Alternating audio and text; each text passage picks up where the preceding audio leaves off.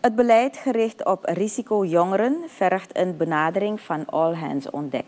Daarom houdt minister Stephen McAndrew van Arbeid, Werkgelegenheid en Jeugdzaken gesprekken met relevante stakeholders, zoals maatschappelijke groepen, buurtorganisaties en NGO's, om te zien hoe deze organisaties naar de jeugdproblematiek kijken en welke acties ze ontplooien.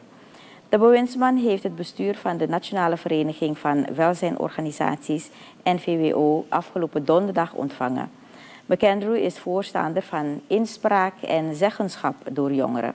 Zijn focus is gericht op het vergroten van de weerbaarheid van tienermoeders, hangjongeren, drop-outs, jongeren die in aanraking zijn gekomen met de justitie, jongeren met suïcidale neigingen en jongeren die noodgedwongen kinderarbeid moeten verrichten.